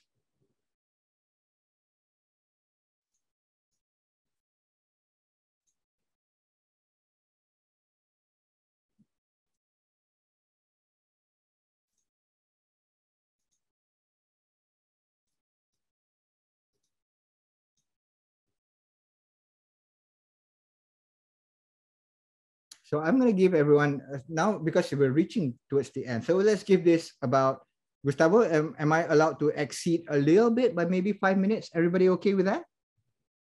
Yes, I believe it's okay. okay, great. So go and try it out. So for those who had have successfully moved your slides according to the music, do let us know that you know you were able to do it, right? Of course, the file is a bit too heavy for you to share it with everyone, but um, I'll take your word that you were able, I'll, I'll trust you when you say that, you know, you managed to get the timing right. So try it out. Ah, um, good question on where you get dramatic sounds, right? Uh, for those who want a good um, selection of sounds, you can always go to a few websites. One of the websites would be Audio Jungle. Yeah. Audio Jungle would be um, a great site to, to look at um, very short snippets of, uh, you know, music. So I'm going to put these websites into the chat window for you to use later. So search for Audio Jungle. That's the first website. The second website is Epidemic Sounds, right? Um, and the third website is, of course, YouTube. But when you search YouTube, when you're searching on YouTube, search for um, background background music, right? Yeah. So those are the three most frequent places that I visit to get audio files. All right. Cool. Uh, hey one, one, one question, Joe, for, uh, for when you're searching online for music, uh, how do you work with uh, copyrights and these things? Is something to be careful, no? Well, it depends. Um, because sometimes, uh, especially on YouTube, yeah, guys, for uh, there are a lot of these um, we call them bedroom composers. These are guys who just want to share their music out for free. You can even download it and, and convert it. They just want their their music to go out, yeah, with no royalties involved and things like that. So just search for royalty-free background music, and there will be a few really, really good uh, bedroom composers. Use those, yeah. But of course, if it's something that you're going to use officially and it's going to go out in the market, you know, and things like that, you may have to purchase the files, yeah. So of course, nowadays, you know, buying these music files is actually very, very cheap.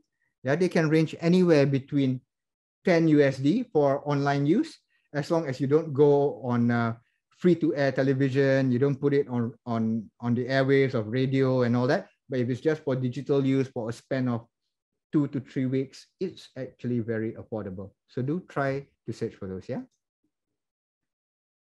Um, good question. Which one do I use most? Yeah. I actually use Audio Jungle most. Audio Jungle is my favorite because their filtering and how they separate the genres, you know, whether they want you want movie trailer style or you want thriller style, you want inspiring style, you want ukuleles, you want so they've got a, a very nice split of genres and categories that you can, you know, narrow down to. So yeah, my favorite will definitely be uh, Audio Jungle. Okay, good. Now, coming back to this uh, video making technique earlier, did any of you manage to successfully get your timing right? Let's see. Oh, you asked about fonts, not the website. All right. Um, what fonts do I use most? That's a great question. Let me open up. For those who are wondering about what fonts I use most, yeah, let me open up another document so that um, I'm to go to one of my past trainings and I'm to go get your camera phones ready, guys. So if you want to find, install some really, really nice fonts, yeah, let me give you a screen and you can take a picture of the screen, right? So that you can uh, search for it later. Okay, now, guys, switch on your camera phones, take a picture of what you see now on your screen, because these are a list of my personal favorite fonts when it comes to designing. Yeah, headers, headlines, and things like that. Yeah. Um, you can tell I'm a very uh, sans serif person. I like very clean and thin, very minimalist style. Yeah. Uh, you can use print screen in PC as well if you want, right? Okay, and, and go to Google Fonts, yeah? Yeah, you were about to ask this as well. Awesome. All right. So glad I could share this with you. So you can print screen it, save it on whatever documents that you have on now, and start searching. Uh, where do you get this file? Go to Google Fonts if you're in Google, if you search for uh, Google Fonts, right, you will arrive at a Google Fonts website, right, where you can download quite a number of these designer fonts for free. Yeah. All right. So yeah, use those that list that I have just given you just now so that you can start downloading. Okay. No worries, Safi. Glad I could help. Yeah. Okay, cool. Hmm, seems that quite a number of people have not uh, or, or, do you have any font suggestions for Cyrillic? No, not not not immediately though. But be careful, yeah, because um, Gustavo, do you have an official uh, Olympic font that uh, they have to follow? No, no, no. Each is free to use whatever they. Ah, great.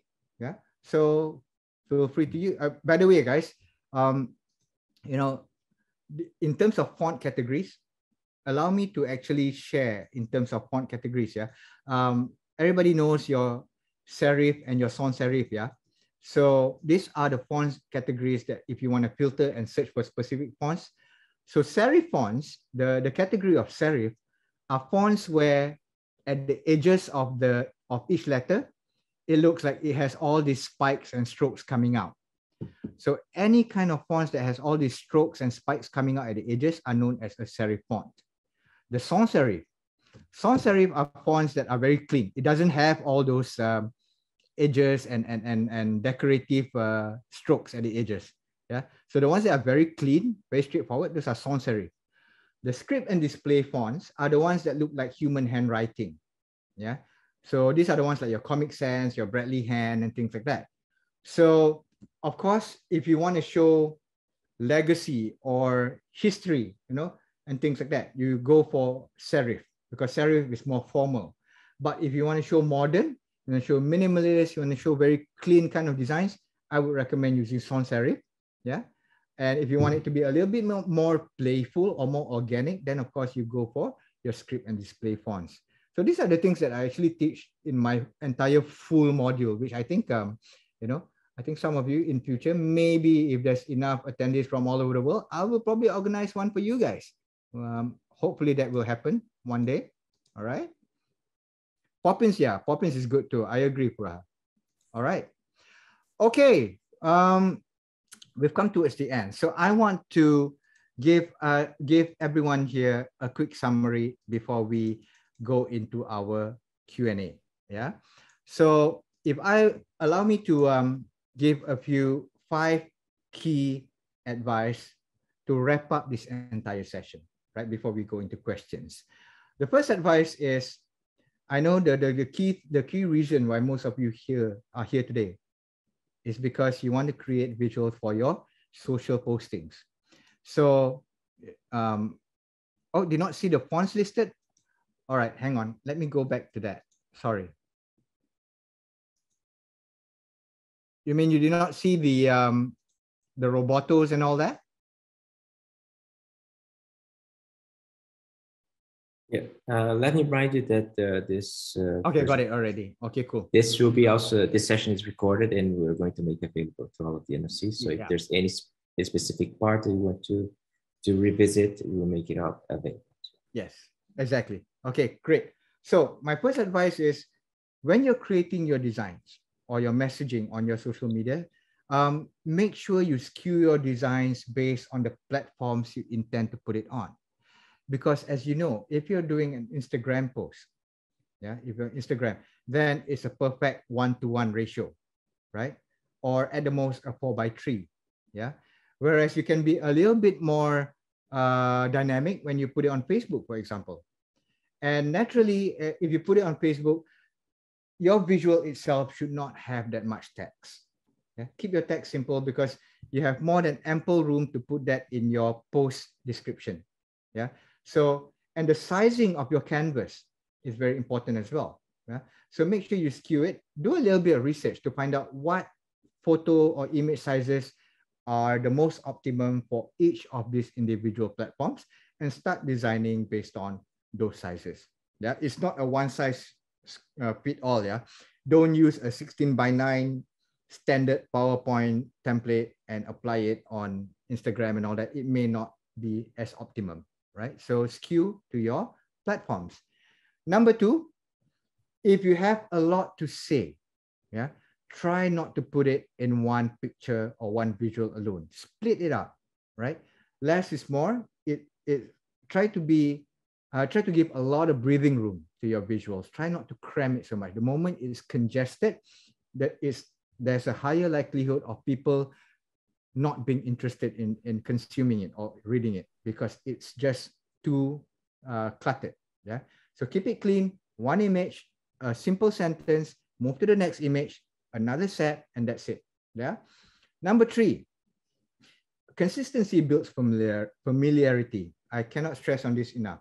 So if you're going for a certain set of colors, if it's for a specific campaign, try developing a familiar template to it so that when the moment you start posting regularly, the people will see immediately that, you know, they recognize the brand, they recognize it's coming from you because the arrangements and the color schemes and all that, um, they've seen it before many, many times. So that builds familiarity, yeah, and that helps. Number four. So as I said, I'm sure a lot of us here are not from the design world. So please, by all means, get, um, you know, uh, do a little bit of research on the principles of design.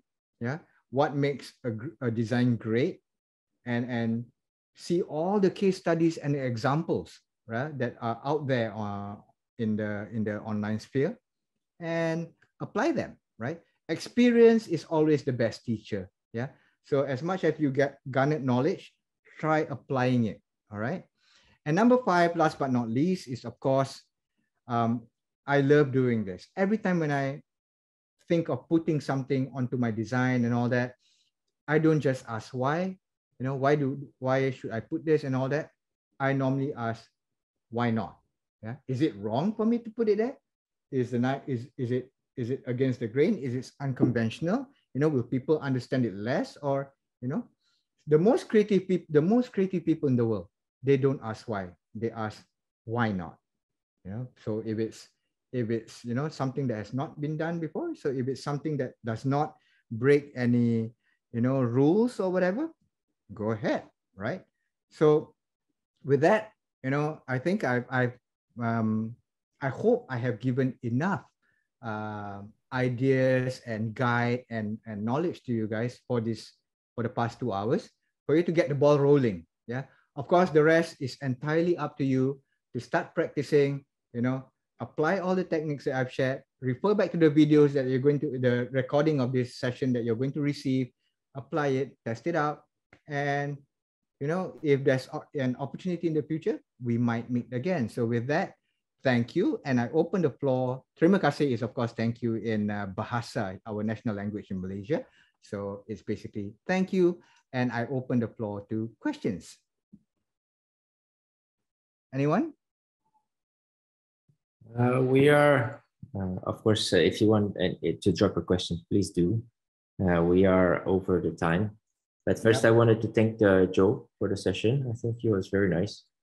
it gives us many interesting tips that hopefully all of the all of those who managed to, to, to watch can apply on their social media building and achieve their objectives on the social media of their own NOCs. Uh, if no questions come up, uh, first Gustavo, I want to remind uh, you. May I just interject just a little bit? Of course. I mean, because normally my my after sales support is actually quite good. So if you have any questions that you you forget to ask today, right? Uh, Gustavo, you can always uh, share my email address with them. Yeah. Um, so that if they have any specific questions, you can always um, direct it to me. Perfect. Uh, so we, we do ask you to please fill out the feedback form that uh, Andres has put here on the chat. Uh, we're going to send it to, uh, to you by email as well. But uh, as you can see, Joe just shared with us a small portion of what the different hacks that he has on, on, on PowerPoint that can help you use it as a tool to develop your, your, your posts. So if you like the session, if you would like to hear more or something, please uh, do evaluate the session and give us your feedback. It's very, very important for us to determine how we're going to continue with our uh, workshops. And speaking of the workshops, on May 31st, we're going to have the fifth uh, workshop, which is going to be with uh, TikTok, uh, which is the fastest growing uh, social media that we have so far. And the NOCs are picking up and learning a lot and TikTok is going to come to speak to you and uh, give more tips uh, as well on how the NOCs can perform better on their platform. Uh, but uh, yeah, again, so now it's already past 10 minutes. So Joe, thank you very, very much again. Most welcome. Glad to, glad to have this opportunity and I'm very honored to be with you guys today. Thank you so much.